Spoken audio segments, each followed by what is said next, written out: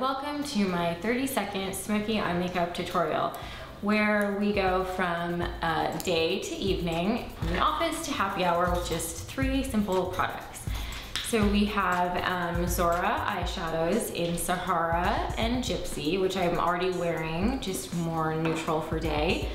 And then Ecotools flat eyeliner brush. Um, they are bamboo handles and recycled aluminum cruelty-free brushes. And this is actually an eyeliner brush, but I found that it's very useful for doing a smoky eye. Okay, step one, take Gypsy. And you just need a very small amount on your brush, so just kind of dab it. You're gonna take it um, on your upper eyelid and then on your lower lash line and just blend it out with the brush. Okay, so the second and final step in the look is using Sahara, this very brilliant gold color.